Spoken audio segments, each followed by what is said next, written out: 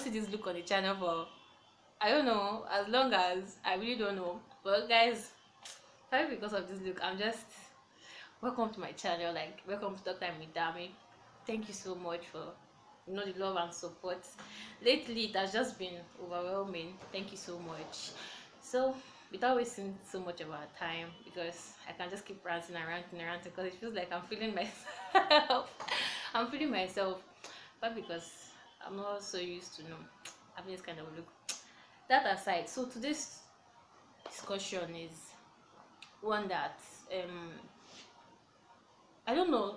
Probably most of us might be able to relate with it because everybody once had you know on childhood moments and all so i'm talking about the effect of um, some childhood experiences in adulthood some you know some things we went through some things that you know that life threw at us and the effect is currently having on us our life. So i'll be listing out some of this you know some i sat down to think of some things that personally i've been through people around me and we'll discuss those stuffs and their effects. And the next video we'll be talking about the things we can do to you know get over it i don't want the video to be so long so i would not touch every part so we'll do the other part in the next video. A lot of us have had um, have had someone probably at school at home church anywhere even among our friends. People have abused us um, verbally. Most of them some some might be in form of joke but they got to us. And some is intentional like the person who said those stuff said it intentionally just to get at us and they did a very big damage to probably our self-esteem the way we see ourselves and a lot a lot more like that. So that i would always say we should not joke with everything. Like you hear some people say now i was just joking. So a lot of us might just okay, i was joking. And to the person who this word um was spoken to it was not just a mere joke. It's something that caused like a big damage to them. Verbal abuse second one here is physical abuse. You see some some children you can't just probably you want to scratch your ear and you just raise your hand up and next thing they're already like this because they're already used to um being you know getting it by any any little mistake they make as children because children are um, bound to just make mistakes. They are meant to, they are bound to destroy things even if it's intentional or if it's not intentional but they would as long as their children around things always get spoiled. So some children are already used to you know um getting beaten up for the slightest mistake that they that they make. So even when they're outside and they just see you know any form of act that looks like this person wants to hit them they they just become defensive they're already protecting themselves. And it's not meant to be like that. Is this third one is one that i really don't like. But i just feel it can't be it's something that i personally can contribute. The children are um okay let me start there domestic violence so the third one here is um domestic violence. As much as we try to you know prevent this say okay parents should try not to you know do these stuffs in front of their children because children like every little thing that happens in the house or everything little thing that happen around them they grab it like they are seeing it and they are just saving it somewhere. Even if you feel you don't know what's going on a lie. They know they understand. Imagine a a young boy that grows up around his father always eating his mom eating his mom eating his mom. This thing is two ways. He might also grow up um eating women seeing it as something normal or feeling like that is the only way he can feel like a man. Or he grows up hating his father and he vowed not to ever eat a lady. So it's two ways. And a a a lady a a, a girl child who grows up in a house where her father is always eating um a, mother or the mother is always eating the father because some it's not only um you know it's not only the the wife that gets um abused in a marriage. Even sometimes you see um places cases where it is the father that is even being abused by the mother. So a girl child who grows up in a home like that will feel the only way she can you know um act like a woman is when or feel like a woman or the man can feel like a man is when she gets hit by the man. You know this kind of um mentality that is just um placed in the minds of these innocent children. So an opportunity to you know sit down in a bus or someone just pass you and you know for a few seconds you can't breathe well. Why? Because of the kind of smell that eats you. It just chokes you and you can't breathe well. You can't you or sometimes you even start tasting the, the smell of the thing that eats you in your throat. So that's why you know it's, it's so nice to smell good. And sometimes smelling good and choking people too is not good but it's nice it's, it's so nice to smell good. So that's why i've brought this good news to you. If you are schooling in unilag if you are in lagos even if you are out of lagos we'll do delivery to you. Nimi's fragrance got you covered.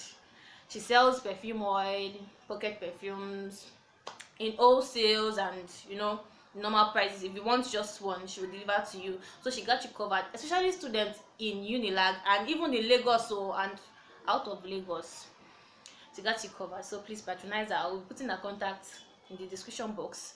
Please patronize her call her and her services are very very nice.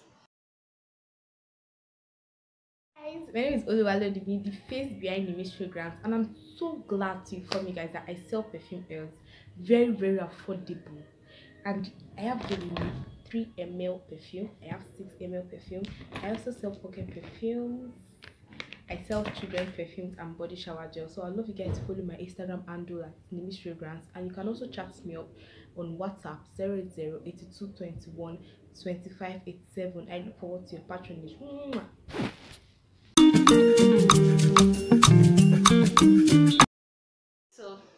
Sorry for that short break. The next point is you know children that have always been made to feel like they are never enough like nothing they do is enough. Well when they carry plates they can't carry it well. They hold water they can't hold water. They you know there's always a complaint about every little thing that they that they do. So such child is so conscious of the fact that if i do this now will mommy like it? Will daddy like it? Will this like it? And they just tend to just grow up with this mindset of i'm never enough like i can't you know like there's nothing they can do. And i can say i would say that is like one of the greatest um worst feeling that a person can have about themselves. Feeling like you're not enough like there's nothing you can do that is perfect or you are not good in anything. So this is an advice to parents. If you have always you know like see you see encouragement goes a a long way in the life of a child even in the life of adults. When you do something and there's someone always there to like encourage you even when what you do is rubbish. And someone is always there to tell you that well what you did is nice is this is that. You want to do better the next time but when when you do this they're always complaining.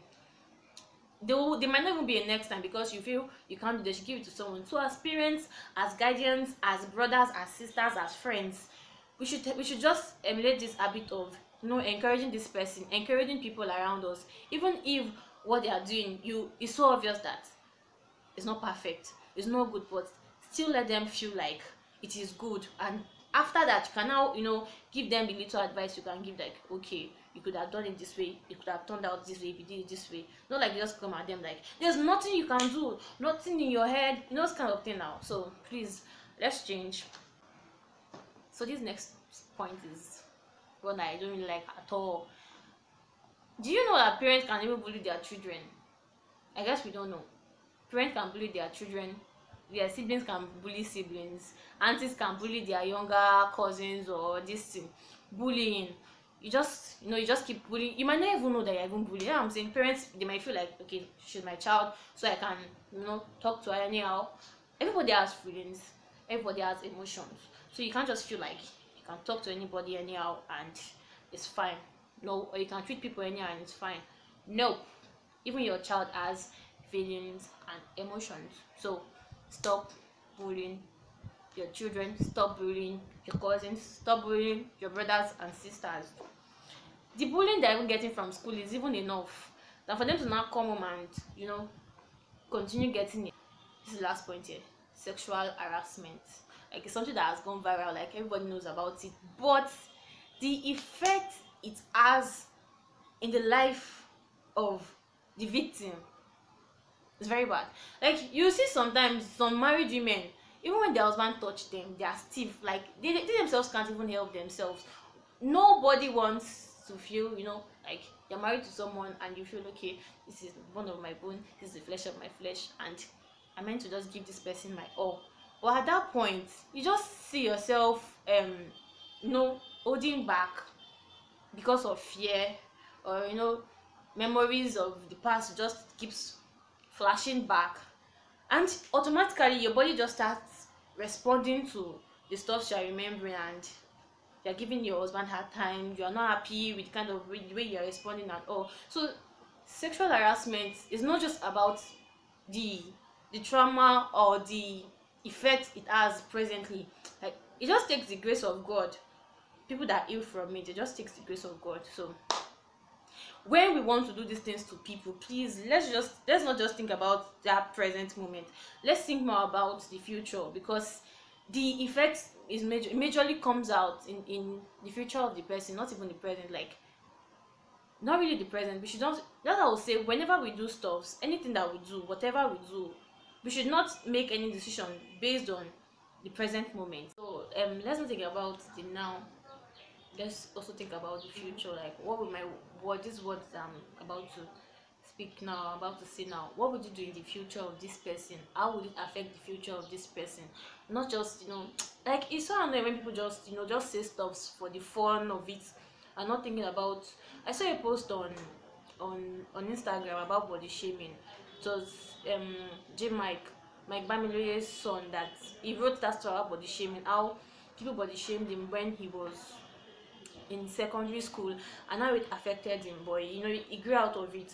And he, he said something one point there that that moment people might just see it as fun and the person you're even body shaming might be smiling and you just feel like it's actually not getting to this person. But deep down within that person the person is feeling so bad and miserable. So it's actually not nice when you you know you you have fun you get happy when others are hurting. It's actually not nice. So let's stop all these um you know jokes that are not needed.